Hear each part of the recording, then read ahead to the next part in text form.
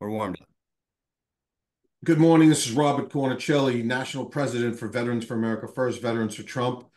We're here today with a very special guest, Thom Kaz. He's a country music singer, songwriter, but most of all, he's a veteran.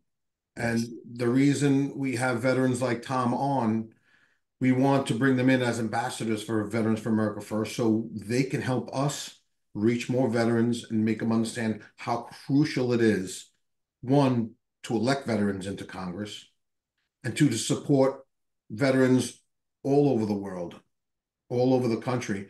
And Thom has made it clear that he's going to use his gift, his God given gift of music, to help veterans who are just so sorely in need of, of assistance that the government's not providing. So, Thom Kaz, welcome. Good morning, and it's a great veteran Thom Kaz. Yes, yes, veteran. Actually, I come from a like I said, I come from a family of uh, of veterans. My father and brother both did over twenty years, so I'm uh, great to be here. Honored to share my story and uh, see how we can help. But you're a veteran yourself. You served. I am. Yeah, I served in the Air Force. Uh, was fortunate to have uh, spent some time in Desert Storm, Desert Shield, and uh, was a nice part of my life. And that's kind of what motivated me to do what I'm doing now is, you know, I have a lot of great friends from when I was in the military, but my father, my brother, both, you know, career guys.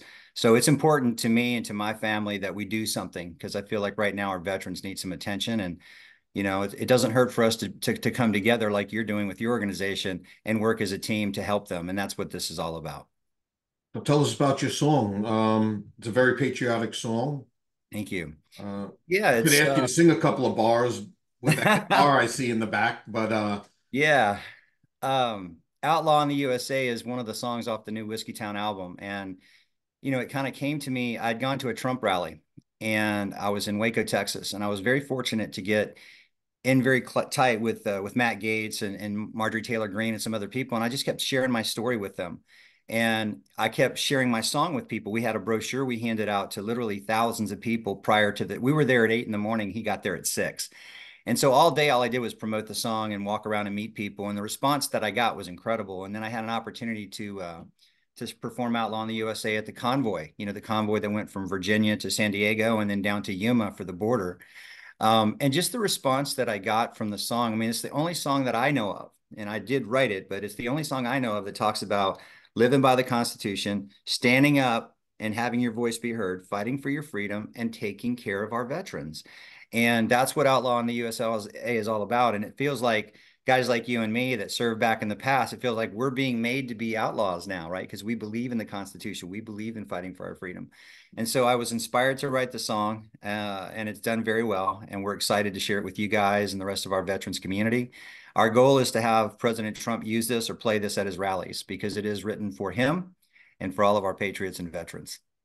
Now, what's your plan uh, um, in regards to helping veterans. Uh, I know I just spoke with Major um, Gerald Malloy. I was telling you earlier he's running for Senate in Vermont against uh, Bernie Sanders, mm-hmm. and I was telling him things that I've um, come come across in terms of getting care. I'm 100 percent service connected disabled, and I was telling him things like, you know, Trump passed a law um, I forgot what it was called, but basically, uh, right to try, the right to try law for people, let's say, who dying of cancer.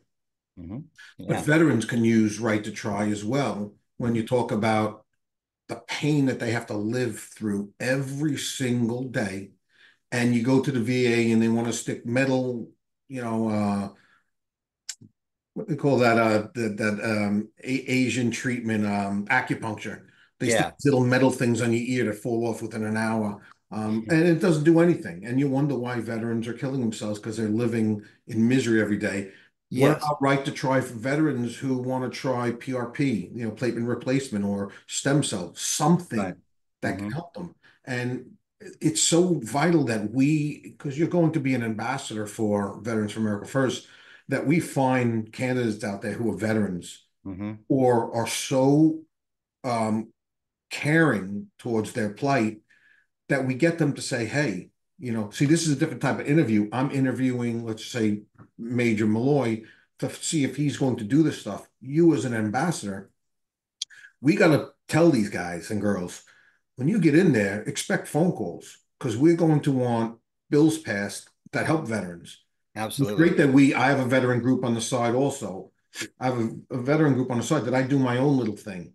Mm-hmm. But these guys have the trillions. Right. Change the system. Yes. And, you know, I could go into a long dissertation. I mean, my background includes medicine when I was in the radiology department in the Air Force, but you know, our focus is there's there's some many great organizations out here, Tunnel to Towers and what they're doing uh, with homes and helping those uh, pay off mortgages and build apartment complexes for for veterans. Um, I felt like with my background, mental wellness really needed to be a focus, and not just for the veterans, but for our entire country. And I've been very fortunate over the last 30 years to become friends with some very high profile individuals that are now experts at the top of their field, Dr. Patrick Porter from BrainTap, Dr. Jason Maggio from Blueprint Nutrition. And both of these individuals have built companies into the hundreds of millions of dollars selling nutrition and technology to help with the brain and the body and wellness.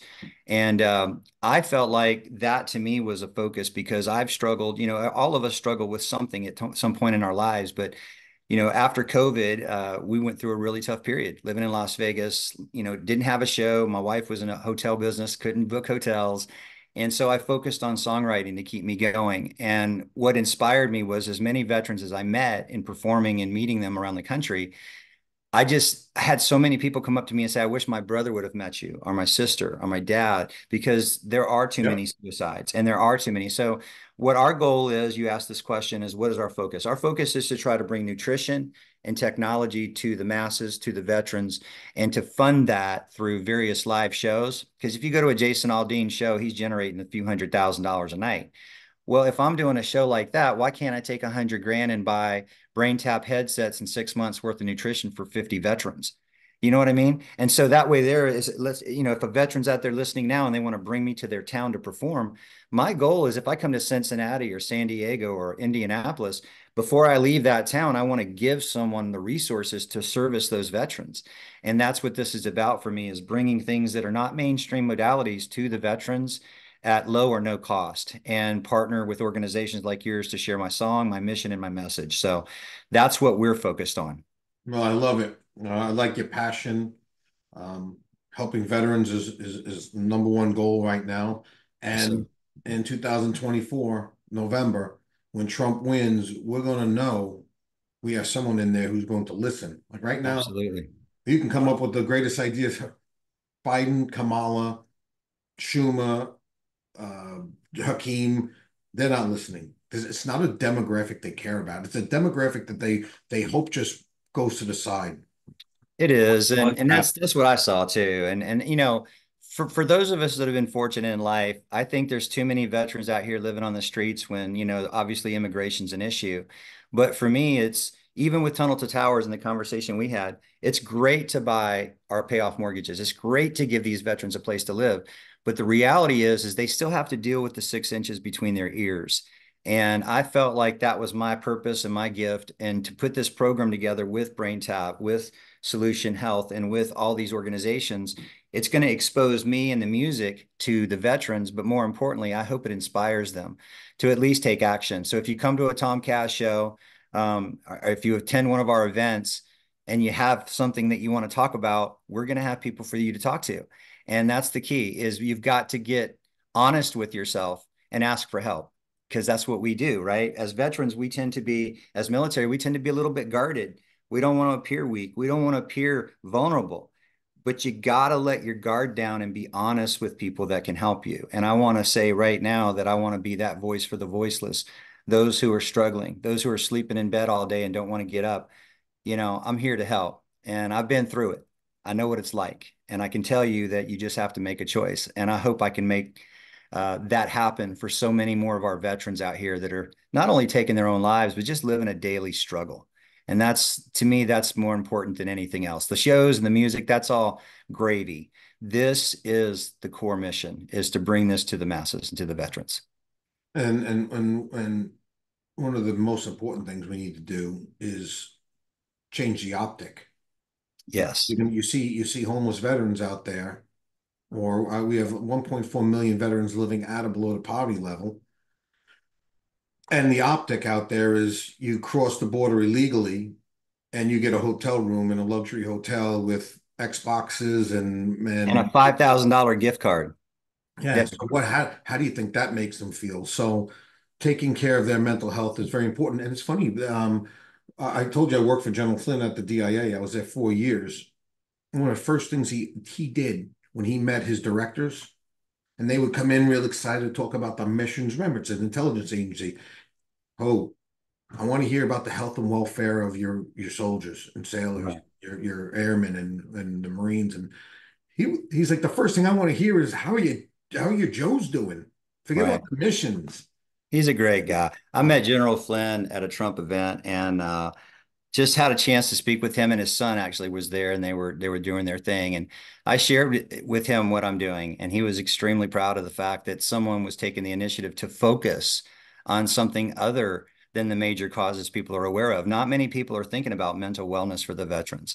Even though it's a huge problem, no one's coming up with a solution. And so I brought together some of the biggest experts in the world to make this happen and to create a solution. And my goal is to not only have President Trump use this song, but to sit down with him for a short period of time and show him how this technology works. We've got over 4,000 doctors in the United States and around the world using it, and to lower stress levels, lower anxiety, help with insomnia, help with the daily grind that you're going through, stimulating your brain and your urology and, and calming things down and getting your nutrition and your gut brain axis right is the key. And so I'm very proud of the fact that these gentlemen and their companies have come forward to participate and uh, my goal is to get as many veterans out there to reach out for help and uh, give them the resources that they need to, to take a step on their own and, and be able to self-administer.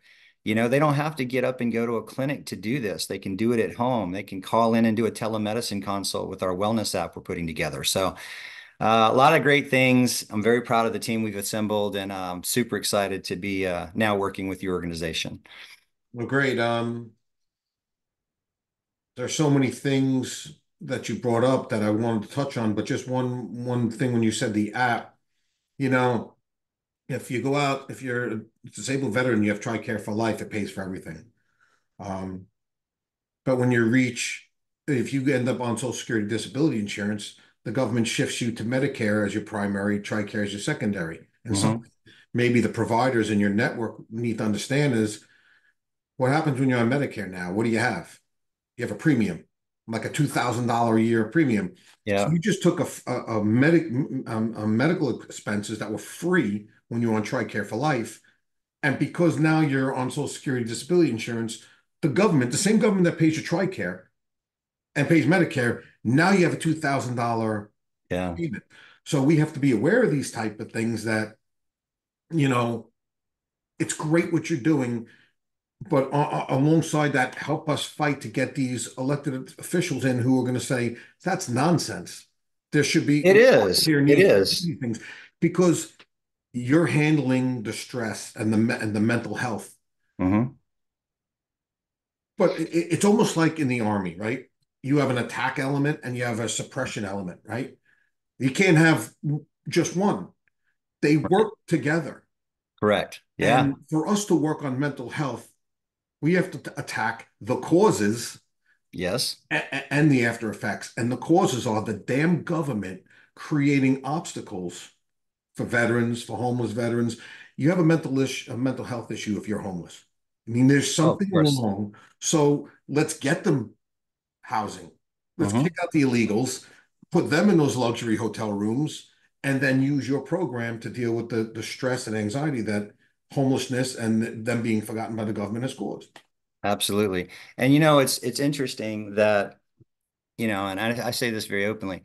I do encourage our veterans to get involved in their communities and in their states and and and be active. Um, the, the thing for me is for with the mental wellness program, um, I just felt like, you know, now that I've been around the country and met so many of them, they're asking for help, but the VA doesn't offer these types of modalities. Um, the other problem is how much money have we spent to, sent to other countries to provide protection for them and uh, support for them? $100 billion to Ukraine. Why is that not, why is we not $1 billion going to just our veterans in this capacity? You know, and, Well, and, when and the veteran we ask that question, but at the end of the day, it, it comes down to, well, somebody's got to do something and might as well be us, right? call, call the VA. I called the VA yesterday. I was on hold for an hour and 50 minutes. hmm just to get, I have tennis elbow, just to get seen about it. But why are you on hold for? Uh, because they're understaffed. They're understaffed, and you know my giving, like father. you said, a hundred billion to Ukraine. And here's a funny Exactly. thing: the the medical expenses for illegals coming across the border. Who handles who handles the the um, processing of the bills? Do you know who? No, The VA. Wow. The. VA is using its resources to process the medical expenses for illegal aliens, but you don't have. Hmm. So what you're doing is just so amazing when it comes to helping veterans. Um, we're giving you our ambassadorship. Uh, we'll be sending you over a graphic any minute, as long as it says veteran on it. I'm happy. Um, and we're there to help you get get your music out and and take care of the, the these veterans who need it. I greatly appreciate it. It's truly an honor. And uh, before uh, before we wrap up the call here, I just want to say, you know, thank you for taking the time to spend listening to the music and spending some time with me prior to this Zoom call. Um, I'm here because I feel like this is my purpose. I feel like God has used me um, as a performer, as a songwriter, as a speaker to to bring this this important important initiative to another level. And you know, if if everybody watching this video went to my website and bought a Warriors bundle, that's a $40 package with three bottles of barbecue sauce and a CD, right? But what I'm doing with that is I'm trying to generate interest in having products, um, barbecue sauces, rubs. I have my own beef and steaks company coming out of a, a, a, processing plant here in Alabama. The more things we can create, like a Margaritaville brand, if you will, the more revenue we can generate, and I can use that to help grow this program. And that is that's what's exciting. Um, it's tough. It's not easy. But uh, you know, someone has to be a voice for the voiceless, and I want to apply for the job. So I'm I'm out here to do this, and uh, very You don't go into the service for tough for easy and not tough. That's right. You're right. And you know, when you grow up in a military family, with, with, like I did, with a dad that was a former TI, um, you give it you give it your all. You know, you go you give it your all, and that's what I'm trying to do. And and uh, very grateful to be part of the organization now. I'm looking forward to spending time Uh, out there as an ambassador and, and just being a voice for the voiceless and helping our veterans. Well, Jared brought your name up, and I said, entertainer. I'm vetting this guy, and I and it took you can ask him. It took me probably a week or two. Yeah, I deep I did a deep dive into you. I just wanted to be sure, and you're the real deal. Thank you. I wouldn't be you. saying it, and you can ask Jared. He kept asking me, "What's the status? What's the status?" I said, "We're going to deep dive. We do not need anyone using this organization to to to move music, but you're moving music to help veterans. You're Yeah. moving product to help veterans. It's it's totally different. So uh, I'm I'm proud to uh, myself speaking for the rest of our leadership team. Um, we're proud to give you that that ambassadorship. It's an honor. I'm I'm looking forward to it. All right, Thom. Um, it was great speaking with you. Uh, anything we can do to help, you just let me know. Let Jared, let Elizabeth or Jay or uh, Jay Hoffman know, and uh, we'll be there for you, Thank you very much, sir. sir. And uh, I'm honored to be a part of this and looking forward to the next steps. And uh, hope everyone enjoys Outlaw in the USA. They will. Say it again. Outlaw in the USA from Whiskey Town. Outlaw in the USA, and you can go to ilovewhiskeytown.com and check it out and read about it, what we're doing. Great. Thank you. Thank you.